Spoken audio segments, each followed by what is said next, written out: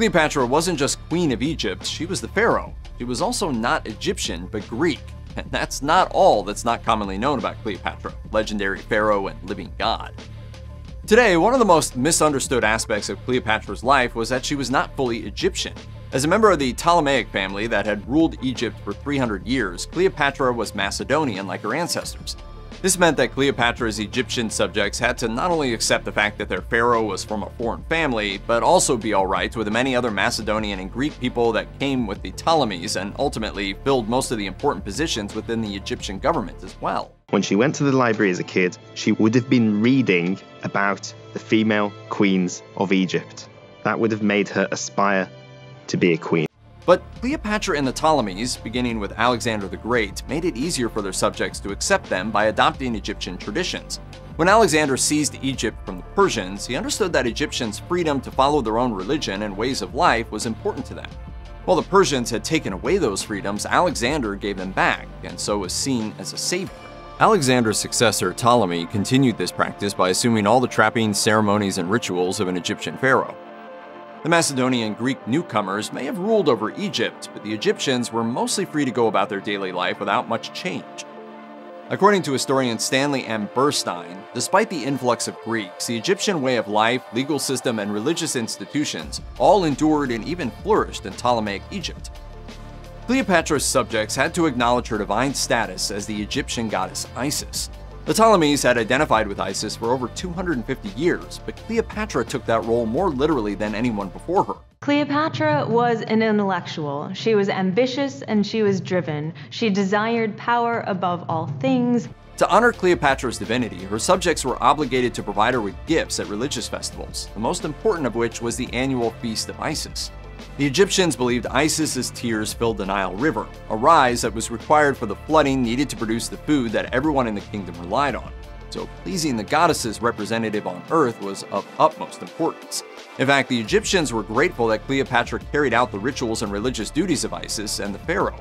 If she didn't, they believed the world would end. These ceremonial duties were often mundane and included welcoming ambassadors, appointing officials, receiving petitions, and greeting subjects. She studies the Egyptian language, and the Ptolemies before her did not see a value in learning the language. On the other hand, Cleopatra's Macedonian and Greek subjects living in Egypt had to be fine with their queen acting like Isis. But like the Egyptians, the foreign elites were free to practice their own Hellenistic traditions, so it probably didn't bother them much. Plus, Cleopatra didn't abandon her Macedonian heritage. She still oversaw the festivals and sacrifices to Greek gods that Alexander the Great had years before. In Cleopatra's Egypt, most people weren't lucky enough to be full Greek citizens and enjoy the privileges that came with it. Although there were certainly exceptions among priests and government officials, the majority of Egyptians were forced to become tenant farmers, growing food for the kingdom. Not only that, most of them had to borrow tools and even the seeds to grow crops.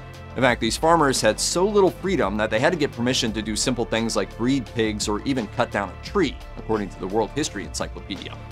Since the royal language was no longer Egyptian, citizens had to learn Greek in order to hold any government position. But most merchants also spoke Greek, so learning the language was important in several ways. Greeks also faced some restrictions. For example, they weren't allowed to marry non Greeks, but they benefited more often than not from living under the Ptolemies. In general, Greeks paid less taxes than Egyptians, and citizens of Greek cities like Alexandria were sometimes entirely exempt.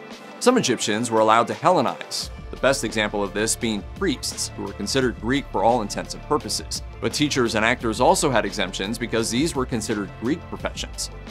The combination of Greek and Egyptian cultures in Ptolemaic Egypt created circumstances that were unique to women in the ancient world. In the more progressive Egyptian culture, women were legally independent and could own property, and wives were allowed to do their husband's work if they weren't able to.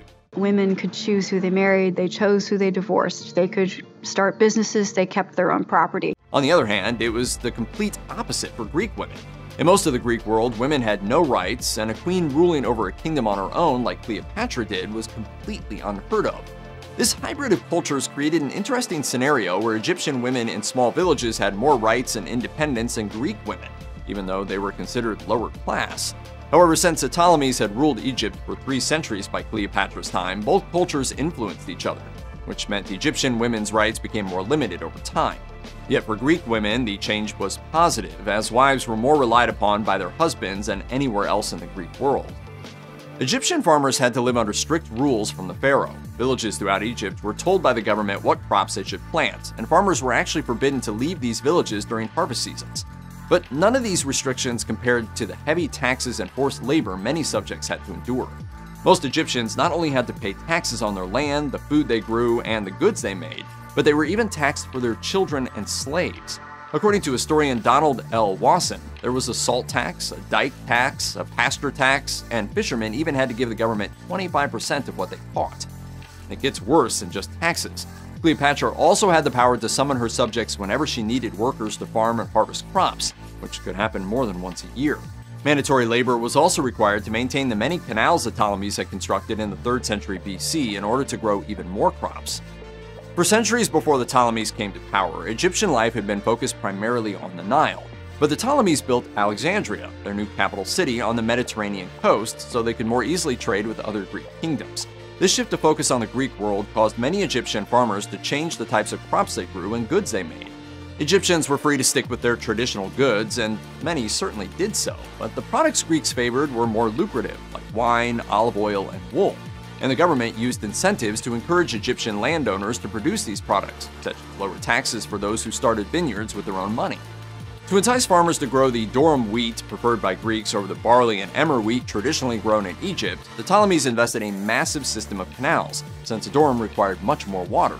Egyptians were then often forced to maintain these canals with mandatory labor.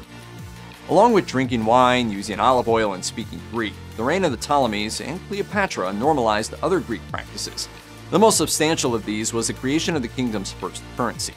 Prior to the Greeks' arrival, Egyptians still traded goods through a barter system, with wheat as the item most exchanged between people.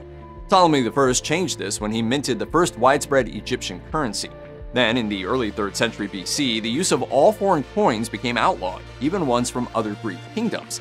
So, if merchants only had foreign coins and wanted to buy goods in Egypt, they had to exchange these for Egyptian coins at a 1 to 1 ratio, even if the Egyptian ones were worth less. Another new idea introduced to the Egyptians by the Greeks was the state auction, which was widespread by Cleopatra's day. However, in his book, The Last Pharaohs, J.G. Manning writes that a batch of ancient papyri discovered in 1906, known as the Milon Archive, showed how this foreign idea could be used against the priests, the most powerful Egyptians. When these priests were behind on their tax payments, the official, who was named Milon, was ordered to auction off their property to pay what was owed. With inflation rising throughout Egypt, Cleopatra created two new coins that her subjects were strongly encouraged to use in place of the previous currency. Before she left her kingdom to visit Rome in 46 BC, the pharaoh decreased the amount of silver in her coins by 40% and minted brand new bronze coins, according to Duane W. Roller's book Cleopatra. Also, Cleopatra didn't issue any new gold coins, so her subjects stopped using the more valuable currency. Gold coins disappeared entirely throughout Egypt during her reign. The most revolutionary change the pharaoh brought to the Egyptians was the introduction of different monetary denominations. Previously, only the weight and the type of metal determined the value of a coin. Now, Cleopatra's subjects had to look at the markings on a coin to figure out how much they were worth. Cleopatra already had extraordinary power over the Egyptians, but her control over the lives of her people increased even further when severe droughts devastated the kingdom. Droughts first caused widespread famine right after Cleopatra became pharaoh in 50 BC, Cleopatra knew she was vulnerable as a new queen, so getting the Greeks of Alexandria on her side was more important than anything else. Unfortunately, this meant that she had to throw her Egyptian subjects under the chariot. Cleopatra forced merchants to send the grain from southern Egypt to Alexandria. If any subject disobeyed, she threatened them with death. But seven years later, when the dangerously low Nile River again caused a famine, Cleopatra didn't abandon her Egyptian subjects. Food was stockpiled in royal storehouses and distributed to people in need. The pharaoh also cracked down hard on corrupt officials and made sure no one in her government took advantage of the people during that difficult time. Another added bonus was that the Egyptian merchants were forbidden to sell food supplies to the Romans who'd murdered Julius Caesar, Brutus, and Cassius. Cleopatra told the Romans that the kingdom didn't have enough resources, but even if that was true, it's highly doubtful the pharaoh would have helped the men who killed her lover. When Cleopatra wanted a rival executed, her subjects were ordered to commit the murder without hesitation, even when the victim was a member of her own family. According to the ancient historians Cassius Dio and Eusebius, the pharaoh not only had the king of Armenia killed, but also her own brother Ptolemy XIV, who posed a major threat to her reign. Supposedly, the pharaoh had her men do the deed with poison. It must die. The Armenian king, although not nearly as much of a threat, meant a much more brutal end. For betraying her lover Mark Antony, Cleopatra imprisoned the rival king only to have him executed three years later. Afterwards, the pharaoh ordered his head delivered to the Median king. Since the two kings were enemies, Cleopatra hoped the gruesome gift would convince the Median king to ally with her, but he rejected her offer. Arguably, the worst insult the Egyptians had to endure during Cleopatra's reign was being ruled by a family from a foreign land who in turn had to obey the Romans. But the pharaoh's alliances with Julius Caesar and Mark Antony were necessary at a time when the Romans dominated all of the Mediterranean except for Egypt. If Cleopatra and her subjects wanted to avoid conquest as well, they had to please the generals of the growing empire. Even worse for the Egyptians was that all of Cleopatra's children were fathered by the two Roman generals, meaning that her heirs would be Roman. Ptolemy Caesar. What? Can't call him that. Not without Caesar's permission. I'll name him whatever I choose. The Romans were there to stay, and the Egyptians just had to deal with it. For the most part, this simply meant that the Egyptians had to provide housing and food for thousands of soldiers stationed in the kingdom, along with shipping grain to Italy or wherever the Romans needed it. Of course, Roman control became absolute after Cleopatra and Mark Antony were defeated. Egypt then became a Roman province and had to live by their rules from then on.